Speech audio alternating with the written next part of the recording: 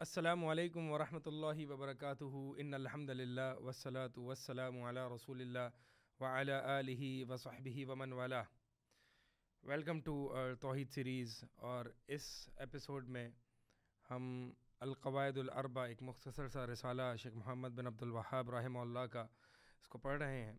और last session में या लास्ट एपिसोड में हमने यहाँ तक एक मुकदमा पढ़ा था, जिसमें शेख रहमल्ला ने ये बताया था कि इस मुकदमा या फिर ये जो शिरक है, ये इतनी ख़तरनाक चीज़ है या इतना बड़ा गुनाह है कि अगर वो इबादत में दाखिल हो जाए तो वो इबादत को फासद कर देता है, बल्कि दीन को ही फासद कर देता है, बल्कि इंसान की दुनिया और आखरत हमेशा हमेशा के लिए बर्बाद कर देता है। लिहाजा लायक है हर इंसान के लिए कि वो जाने ये शिरक है क्या कि जो चीज़, जो जिस इबादत में दाखिल हो, उसमें वो आ, उसको बर्बाद कर देता है।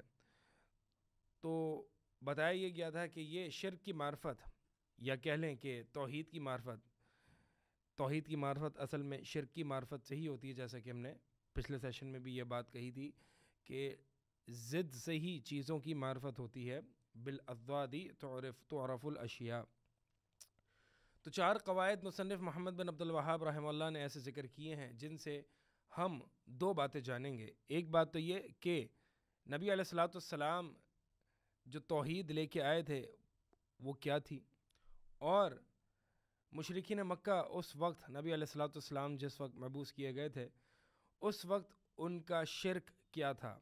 और फिर हम अपने माशरे का जायज़ा लेंगे कि आया कि हमारे माशरे में क्या वही तो अफ़ाल वही तस्वुर तो नहीं पाया जा रहा कहीं? जो मशरकिन मक्का के हाँ पाया जाता था शिरक के ताल्लुक से। तो अलकायदतुलूला पहला कायदा आप पढ़ेंगे। अलकायदतुलूला पहला कायदा, अन तलम अनकुफ़ारदीन कातलहम रसूल अलैहि वसल्लम। पहला कायदा यह है कि तुम जान लो कि बेशक कुफ़ार जो थे, जो अल्लदीना, जो कातलहम, जिनसे कताल किया सल्लल्लाहु अलैहि वसल्लम, अल्लाह के रसूल अलैहि वसल्लम ने अब उमूमन कुरान और हदीस में जहाँ भी जिहाद के अल्फाज पर गौर करेंगे तो वहाँ जिहाद के अल्फाज जो हैं वो, यानी जिहाद बिसैफ़ जो कि तलवार से जिहाद किया गया है, जो कि नबी सलाम और सहाबा और मुसलमान उमूमन करते आए हैं, उस जिहाद के अल्फाज की ताबीर जो है वो कातला युकातलुबाब मुफ़ाला से है। यानी बाब जो है वो ये सुलासी मुजरद से नहीं आया, कतला यकतुल से नहीं है यानी ये नहीं आया कि अल्लदीना कतलहम रसूलुल्लाह, क्योंकि कतला का माना होता है कत्ल करना, और कातला का माना होता है बाहम लड़ना, यानी कताल करना। कताल करने का मतलब ये नहीं कि लड़ना, क्योंकि इस्लाम का मकसद जिहाद से कुफ़ार को बुनियादी तौर पर कत्ल करना नहीं है, यानी असल मकसद कत्ल करना नहीं है, बल्कि असल मकसद जो है वो ला का नफूज ला को इस्टेब्लिश करना है, दीन हक़ को गालिब करना है। और अगर कोई भी काफिर इस राह में रुकावट बनेगा तो उससे कताल किया जाएगा। और वो अगर इतनी रुकावट बने कि कोई चारा ना हो, मगर उसकी गर्दन उड़ाने के तो फिर उसको मारा भी जाएगा और उसको कत्ल किया जाएगा। इसीलिए कातला के अल्फाज उमूमन कुरान और हदीस में आते हैं और कत्ल के अल्फाज नहीं आते, क्योंकि जिहाद का बुनियादी मकसद कुफ़ार को कत्ल करना नहीं, बल्कि उनसे कताल करना है यानी लड़ना है। तो ये बात जान लो कि बेशक जो कुफ़ार से नबी सलाम ने जिन कुफ़ार से कताल किया था, वो कुफ़ार, उन कुफ़ार का अकीदा क्या था?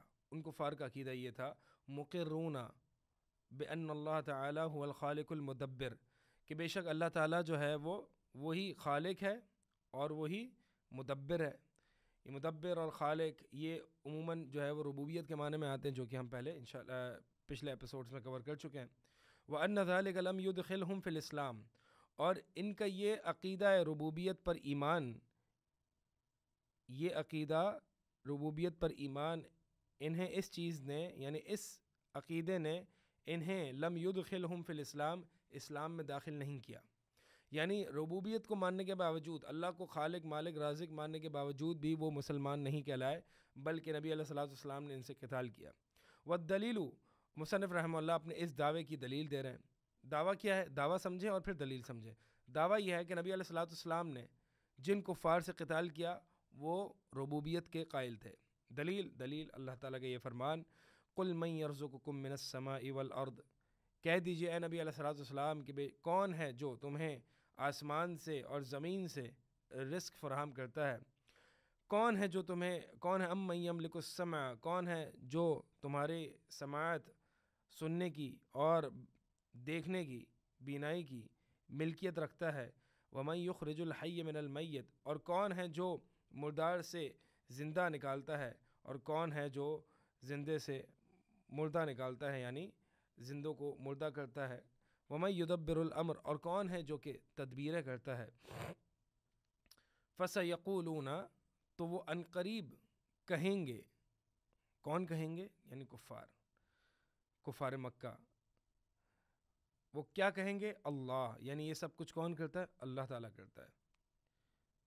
फ़कुल अफला तत्तकून तो बस तो बस आप इनसे पूछें। फ़कुल, आप इनसे कहिए अफला तत्तकून, क्या फिर तुम डरते नहीं हो? मैंने आपसे कहा कि मुसनफ़ रहमल्ला ने यहाँ पे दावा किया है दावा एक तरीके से कह लें कि टू फोल्ड है, यानी दो दावे किए हैं। एक ये कि कुफार मक्का रबूबियत के कायल थे, दूसरा दावा इस रबूबियत के इकरार ने उन्हें इस्लाम में दाखिल नहीं किया, ये दो दावे हैं। इन दो दावों की दलील, ये एक ही आयत है सूर्य यूनुस की आयत नंबर इकतीस। पहला दावा, उसकी दलील क्या है? फ़स यकूलून अल्लाह, कि वो उन करीब कहेंगे कि ये सब कुछ अल्लाह ने किया है। यानी ये रबूबियत के इकरारी हैं, इकरार करते हैं। दूसरा दावा कि इस्लाम में इस रबूबियत के इकरार ने उनको, यानी इस रबूबियत के इकरार ने उनको इस्लाम में दाखिल नहीं किया। इस चीज़ का, इस चीज़ की क्या दलील है? इस चीज़ की दलील, फ़कुल अफ़ला तत्तकून। यानी जब, ए नबी सलाम जब इनसे तुम पूछो तो ये कहेंगे, अल्लाह ताला ये सब करता है। तो फिर इनसे कहो कि फिर डरते क्यों नहीं हो? अल्लाह से डरते क्यों नहीं यानी अल्लाह के दीन में दाखिल क्यों नहीं होते? इस्लाम में क्यों नहीं आते? तोहद क्यों नहीं अपनाते? जब तुम रबूबियत के कायल हो तो फिर डरते नहीं, यानी इस्लाम में नहीं आते, अल्लाह ताला से डरते, इस्लाम कबूल नहीं करते। ये दूसरी दावे की दलील है।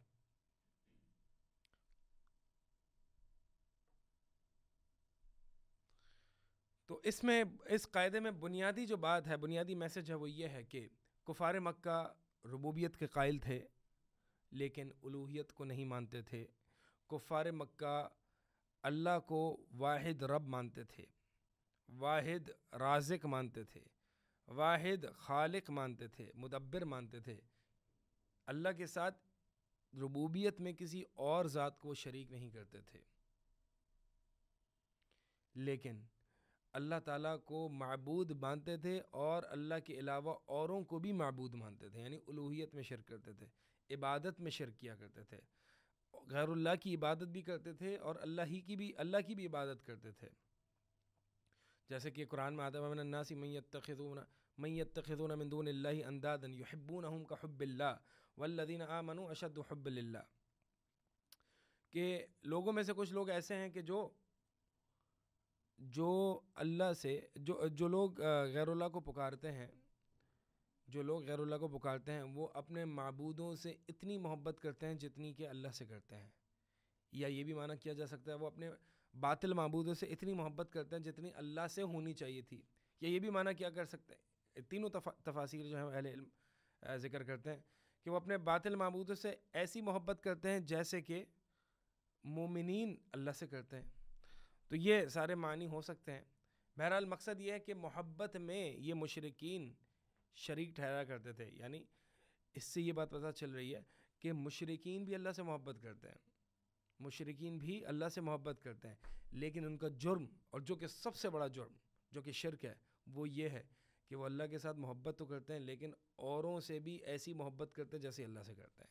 यानी वैसी मोहब्बत जिसमें तज़ीम हो, जिसमें खुदू हो, जिसमें तब्बुद हो, जिसमें इबादत हो, जिसमें सबमिशन हो, जिसमें सरेंडर हो यानी इबादत के तमाम मानी पाए जाएँ। देखिए इंसान जो दूसरे इंसान से या किसी भी चीज़ से या किसी भी आ, अपने वालदेन से भाई बहन से अपनी जवजा से मोहब्बत करता है ये फितरी मोहब्बत है तबी मोहब्बत है। लेकिन ऐसी मोहब्बत जिसमें इबादत का पहलू शामिल हो जाए और इबादत का मैं माना जो है वो आपके सामने पिछले एपिसोड्स में रख के आ चुका हूँ कि जिसमें सरेंडर हो इनकियाद हो अतात हो झुकाव हो आजजी हो इनकसारी हो खुदू हो तो ये ये तमाम यानी इन तमाम चीज़ों में किसी गैबी मनफियत को तलब किया जाए। इस वजह से किसी ज़ात से मोहब्बत की जाए जैसे कि मिसाल के तौर पर। एक फ़क, एक शख्स है और वो कहता है कि मैं रोज़ जो है वो कब्र फलां पीर साहब की कब्र पर हाज़िरी देता हूँ। क्यों जनाब? क्योंकि मुझे इनसे बड़ी मोहब्बत और लगाव है। क्यों जनाब? क्योंकि वो अल्लाह के वली हैं। तो अल्लाह के वली हैं। अगर आप पूछते हैं कि अल्लाह के वली हैं तो आप मोहब्बत ऐस, हम भी अल्लाह के वली से मोहब्बत करते हैं। तो आपकी ऐसी कौन सी मोहब्बत है कि जो आप वहाँ जाके करते हैं? यानी आपकी मोहब्बत और मेरी मोहब्बत में फ़र्क है कि अल्लाह के अलिया से मैं भी मोहब्बत करता हूँ और तुम कह रहे हो कि तुम भी मोहब्बत करते हो। लेकिन तुम जिस तरह की मोहब्बत करो उसमें इबादत है। क्यों? क्योंकि तुम उसके नाम पे नजराने दे रहे हो। तुम नज़र व नियाज उसके नाम पे कर रहे हो। तुम उसके आगे सजदे कर रहे हो। तुम जो है वो उससे शफात तलब कर रहे हो, उससे सिफारिश तलब कर रहे हो और उससे औलाद मांग रहे हो, वगैरह वगैरह। और मैं अगर अल्लाह के वली से मोहब्बत करता हूँ तो इसमें इबादत वाला पहलू नहीं है। मेरी मोहब्बत अल्लाह के वली से ऐसी है, जैसी कि जितनी होनी चाहिए। यानी मेरी मोहब्बत अल्लाह के वली से इसलिए क्योंकि अल्लाह का करीबी बंदा है तो उमूमन मेरी मोहब्बत हर मुसलमान भाई से है और जितना जिसमें ईमान और तकवा ज़्यादा होगा, उतना ही मेरी उस बंदे से मोहब्बत, मेरे भाई से मोहब्बत ज़्यादा होगी। क्योंकि जो भी मेरा, मेरी अल्लाह से मोहब्बत असल है। मैं चूँकि अल्लाह से इतनी मोहब्बत करता हूँ, लिहाजा जो भी अल्लाह से मोहब्बत जितनी करेगा, उतनी ही मैं मोहब्बत उससे भी करूँगा। ये असल में एक अपने भाई से या किसी वली से या किसी शख्स से, किसी इमाम से, किसी आलम दीन से अल्लाह के लिए मोहब्बत करना। तो ये सर, यानी ये दो मोहब्बतों में फ़र्क है। कि एक की मोहब्बत शिरक है और एक की मोहब्बत मुस्तहब और बल्कि ज़रूरी है, अहले इल्म से मोहब्बत करना अलिया अल्लाह से मोहब्बत करना, ये ज़रूरी है। क्योंकि अल्लाह ताला एक हदीस में फ़रमाता है कि जो शख्स मेरे वली से को तकलीफ़ पहुँचाएगा तो मैं इससे ऐलान जंग करता हूँ। तो लिहाजा इन लोगों से मोहब्बत करना ये ईमान का हिस्सा है, ये ये ज़रूरी है। लेकिन ऐसी मोहब्बत नहीं जिसमें तज़ीम हो, जिसमें इबादत की जाए। तो ये मशरकिन मक्का का जुर्म है कि रबूबियत में अल्लाह को मानते हैं खालिस, लेकिन उलूहियत में जो है वो शर्क करते हैं, यानी गैरुल्लाह को भी मबूद मानते हैं, गैरुल्लाह की भी पूजा करते हैं, गैरुल्लाह से भी मोहब्बत करते हैं, गैरुल्लाह से भी अपने उम्मीदें वाबस्ता करते हैं, वगैरह वगैरह। इसके बाद इन दूसरा कायदा है, ये सारे कायदे, कवायद जो हैं वो मुख्तसर से हैं। अलकायदतसानिया जो है वो मैं इन सेकेंड एपिसोड में, यानी अगले एपिसोड में इसको कवर करूँगा। अब तक के लिए इजाज़त चाहूँगा। अकूल कौली हाज़ा वलकुम